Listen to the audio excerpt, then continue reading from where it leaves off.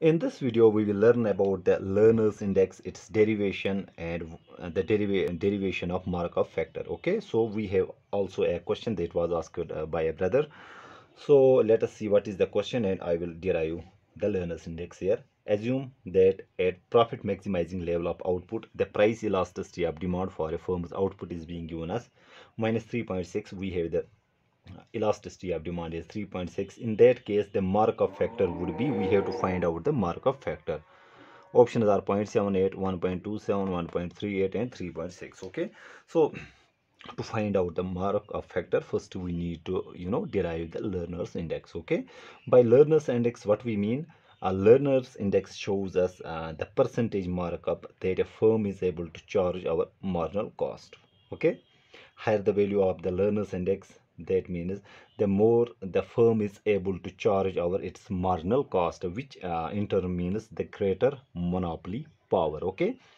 So um, let's try to derive this. Lerner's index okay? So we know that uh, profit profit is simply equal to total revenue okay? Let me write it here. Uh, total revenue minus total cost okay? So this is the profit function. You know it very well when we subtract cost from our total revenue we get the profit okay? So i can write it like this profit is equal to now revenue is simply price into output okay? Let us say we have this cost function okay? I denoted by c. This is our uh, you know profit function. Now for profit maximization what we require we require that our marginal profit should be equal to zero okay? So at you know profit maximization what we need to find out. At profit maximization our you know uh, the marginal profit should be equal to zero. That means we need to take the derivative of this profit function with respect to output okay and set it equal to zero. Now the derivative of profit function with respect to output will be that means uh, d pi upon dq should be equal to. Now what is the derivative of this function? It is uh, you know there are two functions here. We use the chain rule here. How do we apply? Chain rule simply we write the first function let us say p and take derivative of second function. So the derivative of q will be dq sorry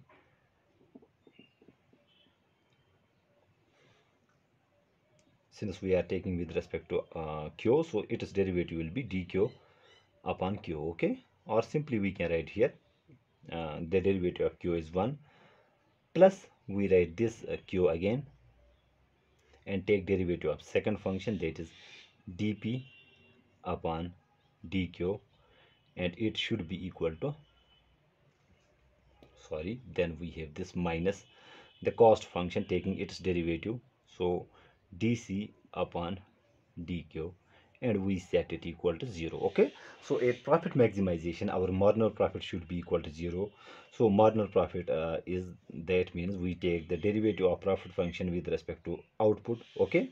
And set it equal to 0 now the derivative of this uh, p uh, q is simply first we write the first function take derivative of second function plus we write the second function and take derivative of first function minus the derivative of cost function with respect to output and set it equal to 0 okay? Now what we are being left with here you can see we are left with p okay? Dq upon q is 1 so i will not write it here. Plus we have q uh, dp upon dq let me transpose this here. This is dc upon dq okay? Now here you can see. Now change in cost with respect to output. This derivative shows us the marginal cost okay? Simple thing uh, it is our cost function its derivative with respect to output gives us the marginal cost. So i can write it like this. P plus q times dp upon dq should be equal to marginal cost okay? So we are just trying to derive the Lerner's index and then i will derive the markup factor okay? Now doing some usual stuff and just um, uh, transpose this marginal cost here it will become negative. So we have p minus mc is equal to and i will transpose this term to rhs it will become negative here. So we have minus q dp upon dq okay after that what will i do? I will uh, you know divide both sides by p okay? Dividing uh, this equation both sides by p means we have here p and here we also divide with p. Okay i hope i am making myself clear. Now if you can see here we are we have here minus q upon p into dp upon dq. Okay? This is uh, you know familiar to us but uh, there is some manipulation being done had been done here.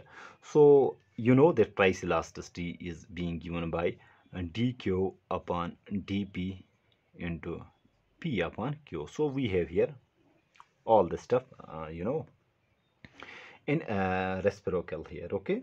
So this denotes our price elasticity of demand. And but we are being given this. So in place of this i can write it like this. I can write it like this. 1 upon okay uh, dq upon dp into p upon q okay. Can i write it uh, this uh, i'm uh, i'm talking about this. Can or can't i uh, write it in this form simple mathematics. Okay so no bakwas and this is simply 1 upon elasticity okay? So if i try to take the absolute value i can write it here like this if i you know write it in absolute form. This is our elasticity. So in place of this i can write it like this. So let me write it here that means our P minus MC upon P should be equal to 1 upon E. Okay, this is absolute value here.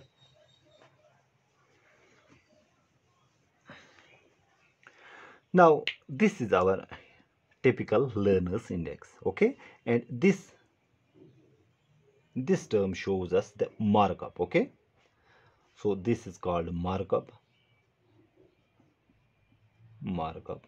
What does this what does this tell us? It simply tells us the percentage amount the price is above the marginal cost. Okay? So it shows us percentage amount by which our price is above the marginal cost. And you can see this markup is inversely related to elasticity of demand. Okay so the and the less the price elasticity of demand the more markup we have. Or this is also called you know this stuff is called Lerner's index. Lerner's index. As i had told earlier that um, Lerner's index shows us percentage markup that a firm is able to charge our marginal cost okay? So this is our Lerner's index. So i can write it like this. Let me write it here. So in place of this if i write l is equal to 1 upon e you can see there is inverse relationship between Lerner's index and price elasticity of demand.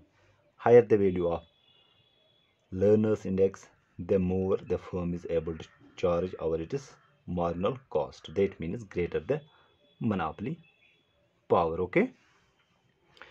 That means uh, if we have less uh, less elastic uh, demand we have more monopoly power okay? So uh, if we have you know inelastic demand our monopoly power will be greater. If we have in a you know elastic uh, demand our monopoly power will be less. There is negative relationship okay? Now this was the our Lerner's index and its relationship with price elasticity of demand. Now what we need to see we just need to you know find out the markup factor. Markup factor what the question was talking about. So how do we calculate a markup factor? So let's um, take this equation again. So if i write it like this so if i write it like this p upon p minus mc upon p i i am just expanding this is equal to 1 upon e okay? P and p will get khatam cancel. So we are left with 1 minus mc upon p is equal to 1 upon e okay?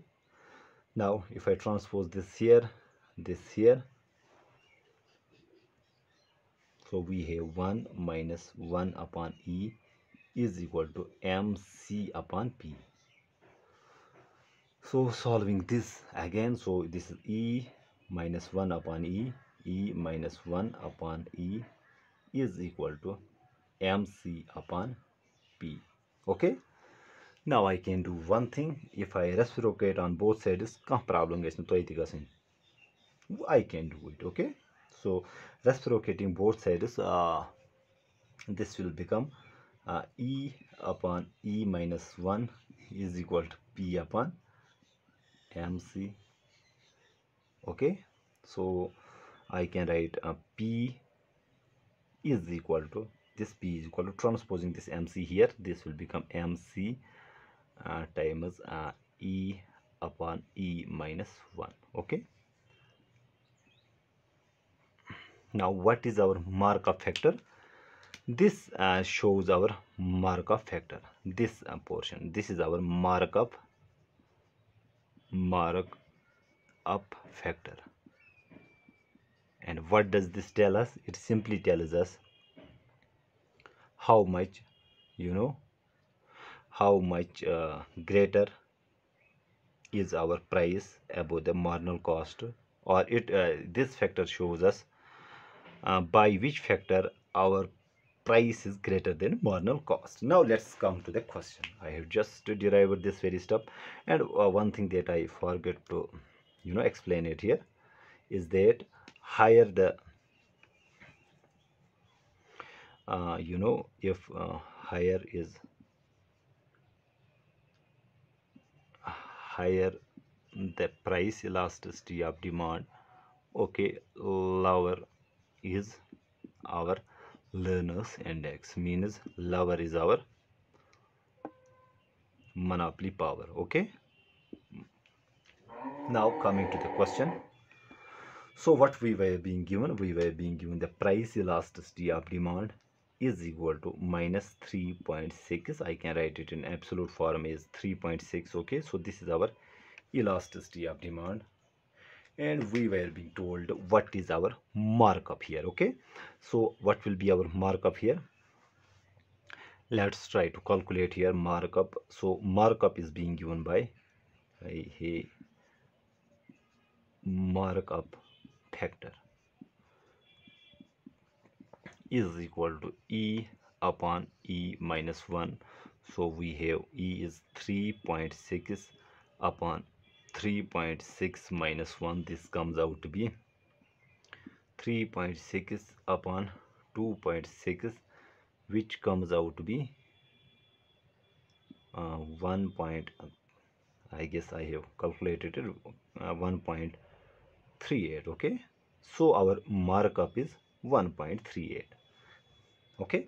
Now what exactly does this markup factor tell us? It simply tells us by by what factor our price is greater than marginal cost okay? Let me give another example to make them more to make the uh, things you know easier okay? Let's take a take an example.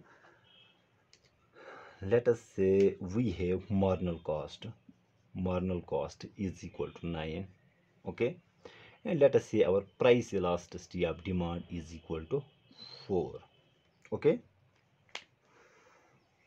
then what will be our uh, markup? So our markup let me denote it by m. E will be equal to e.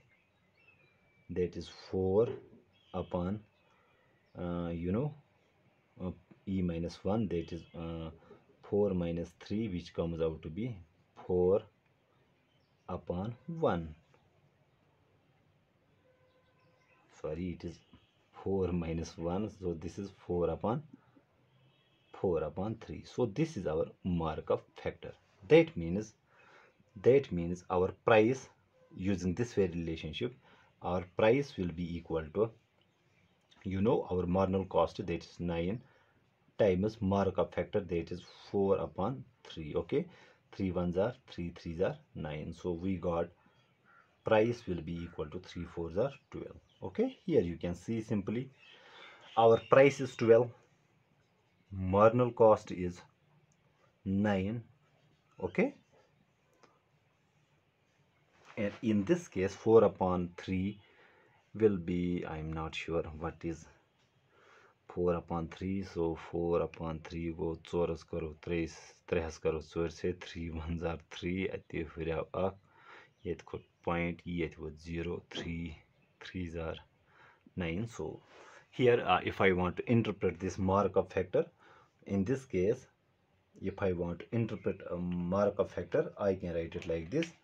Uh, P is equal to 1.33 uh, times marginal cost. Okay so this 1.33 which we calculated is our marginal uh, you know sorry markup factor which is equal to e upon e minus 1 it shows by what factor our sorry by what factor our price is greater than marginal cost. Okay? Here it simply says our price is 1.33 times greater than marginal cost. And you can check it here.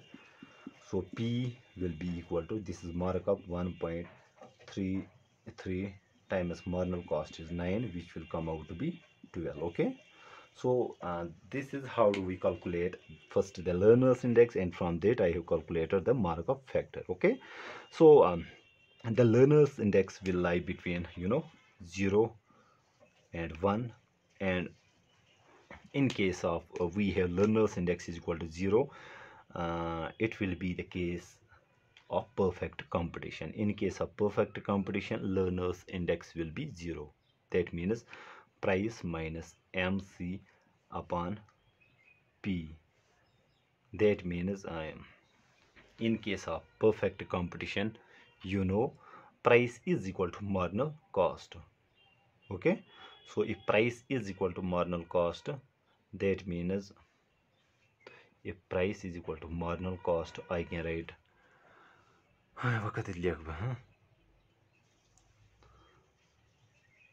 so let me write it here okay if price is equal to marginal cost so in place of mc i can write p so we have p minus p upon p is equal to 0 because p upon अच्छा इस button is 0 okay so in case of perfect competition we know price and marginal cost are same then our learners index will be 0 and in case of pure monopoly theory.